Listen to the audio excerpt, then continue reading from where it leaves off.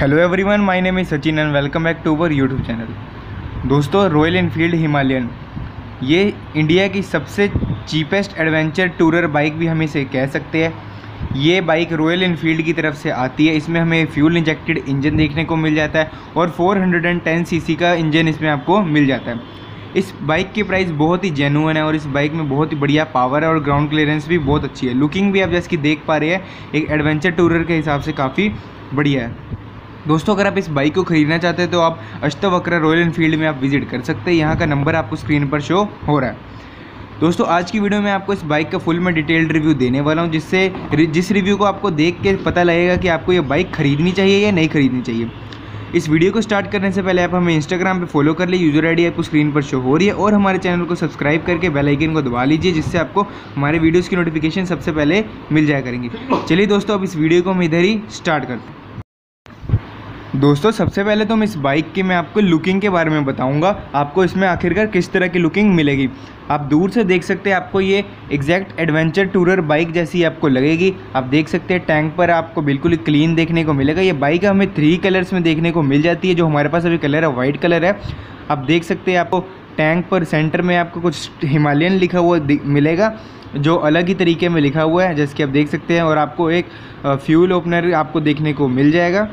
Tank पे आप देख सकते हैं, काफ़ी ये बढ़िया क्वालिटी का आपको देखने में मिलेगा और आपको थाइज़ रखने के लिए भी जगह मिल जाएगी और आपको कुछ सामान वगैरह रखने के लिए जैसे कि जेरी कैंस अगर आप टूरिंग पे जाएँगे तो आपको टांगने के लिए यहाँ पे काफ़ी बढ़िया जगह है और आपको वहाँ पे एक रॉयल इनफील्ड का लोगो भी देखने को मिल जाता है। आपको मैं थोड़ा सा दूर से एक बार दिखा देता हूँ, आप देख सकते हैं। अब मैं दोस्तों आपको मैं राइट साइड से लुकिंग दिखा रहा हूँ, इस बाइक की आखिरकार आपको किस तरह की मिलती है। राइट साइड से देखने पर भी आपको लगभग सेम ही देखने को मिलेगा। रॉयल इनफील्ड का सेम लोगो और आप देखेंगे सीट के नीचे आपको हिमालयन की ब्रांडिंग देखने को मिल जाएगी, जो काफ़ी बढ़िया देखने में लगती है। इस बाइक की अगर हम सीट की बात करें तो सीट भी काफ़ी बेटर आपको देखने को मिलती है। इसमें आपको ट्विन सीट देखने को मिल जाती है, जो काफ़ी सॉफ्ट है। और इससे आप चाहे 400-500 किलोमीटर भी चलाओगे तो आपकी कोई बैक पेन वगैरह आपको नहीं होने वाली है। अब जैसे कि आप देख सकते हैं। और आप नीचे का चैन, स्पोक देख सकते हैं किस तरह के आपको मिलते हैं। ओपन आपको इसमें चैन देखने को मिल जाती है और एक साड़ी गार्ड भी देखने को मिल जाती है। दोस्तों, इस बाइक के मैं अगर आप देख सकते हैं, आपको एग्जॉस्ट भी कुछ इस तरह का देखने को मिल जाता है, जो आपको काफ़ी ऊपर की तरफ़ है। जैसे कि आप चलाएँगे तो आपको इसमें कोई भी पानी घुसने का या कीचड़ वगैरह घुसने का कोई चांस ही इसमें नहीं है। इस बाइक के दोस्तों, आप देख सकते हैं, आप फ्रंट साइड से लुकिंग, फ्रंट में आपको एक वाइज़र देखने को मिल जाता है, जैसे आप देख पा रहे हैं।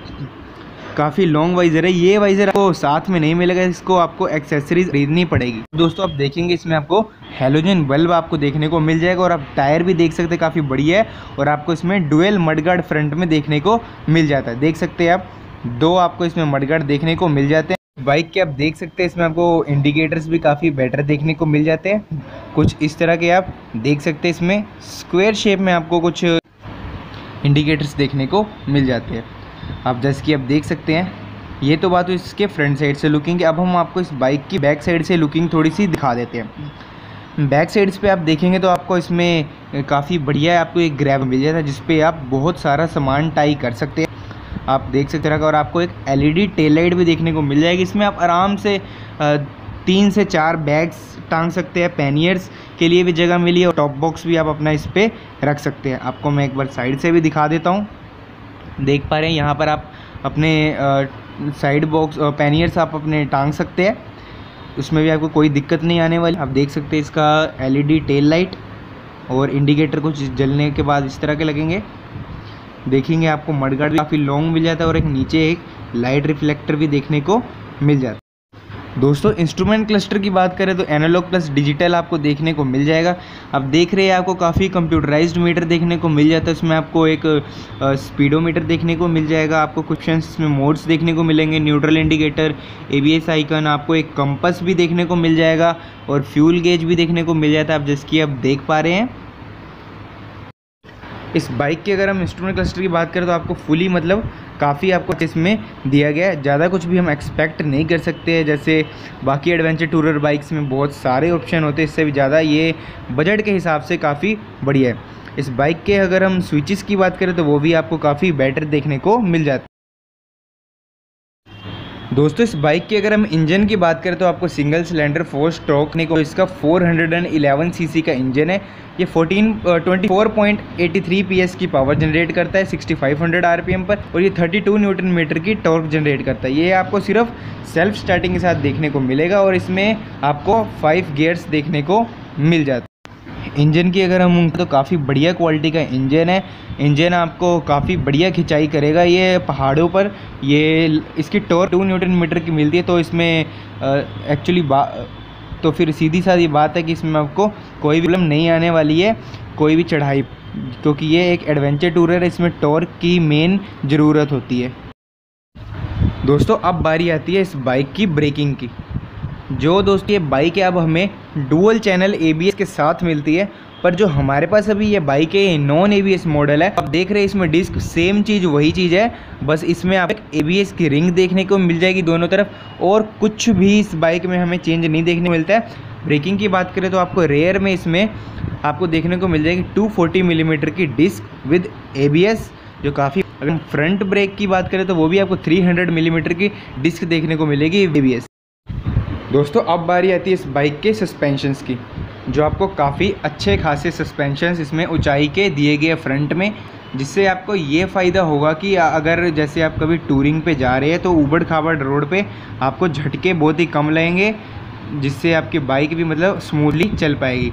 इसकी अगर हम सस्पेंशंस की बात करें तो फ्रंट में आपको टेलीस्कोपिक सस्पेंशंस देखने को मिल जाते हैं, जो काफ़ी ज़्यादा लॉन्ग है, आप देख सकते हैं। और अगर हम रेयर सस्पेंशन की बात करें तो आपको वो मोनोशोक देखने को मिलते हैं, जो काफ़ी बढ़िया बात है। दोस्तों, इस बाइक टायर साइज़ की बात करें तो टायर साइज़ इसको आप, इसमें आपको काफ़ी अच्छा खासा देखने को मिल जाता है। रेयर टायर की अगर हम इसके बात करें तो वो आपको मिल जाता है 18 इंचज़ का tyre 120 twenty by ninety spokes wheel tube वाले इसमें आपको टायर्स देखने को मिल जाते हैं। टायर है वो आप काफ़ी बड़ा देखने को मिलता है, वो आपको 21 इंच का देखने को मिल जाता है 90 बाई 90 का टायर आपको देखने को मिलेगा, वो भी with spokes wheel and tube tyres आप देख सकते हैं फ्रंट वाला टायर आपको किस तरह की लुकिंग दे देता है, काफ़ी बड़ा टायर इसमें आपको देखने को मिल जाता है। दोस्तों, अब आप प्लीज़ हेडफोन्स लगा लें और इस बाइक के एग्जॉस्ट को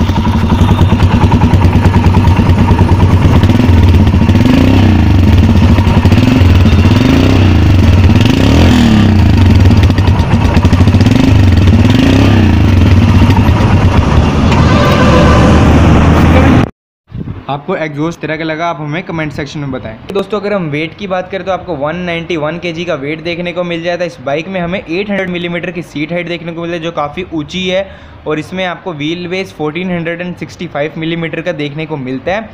और इसकी अगर हम ग्राउंड क्लियरेंस की बात करें, जो मेन चीज़ है 220 मिलीमीटर की ग्राउंड क्लियरेंस जो बहुत ही बढ़िया है। आराम से कोई भी बड़ा सा एक पत्थर भी इसके नीचे से निकल सकता है। फ्यूल टैंक कैपेसिटी 15 लीटर है थ्री कलर्स में मिलता है। अब मेन बात है प्राइजिंग लुधियाना पंजाब, इसके तीन वेरिएंट आते हैं स्टैंडर्ड जो इसका वेरिएंट है, उसकी प्राइस है on road twelve thousand two hundred twenty six rupees litre flag तीन थाउज़ेंड एंड हंड्रेड रुपीज़ सकते हैं स्क्रीन पर शो हो रहा है। आज की वीडियो में दोस्तों इतना ही। वीडियो आपको किस तरह की लगे, आप हमें कमेंट सेक्शन में बताएँ। इस वीडियो को लाइक एंड शेयर करना ना भूलें। हमारे चैनल को सब्सक्राइब कर ले और हमें इंस्टाग्राम पर फॉलो कर ले। चलिए दोस्तों, आज की वीडियो में इतने तक के लिए जय हिंद, वंदे मातरम।